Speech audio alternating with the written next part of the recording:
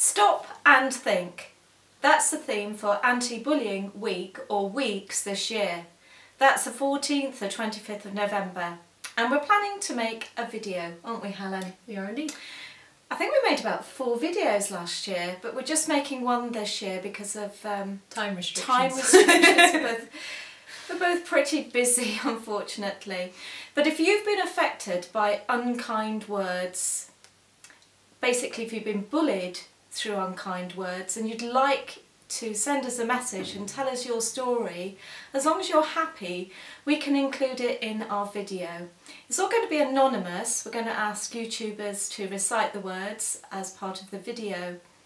So send me a message and uh, I look forward to hearing from you. Anything else, Helen?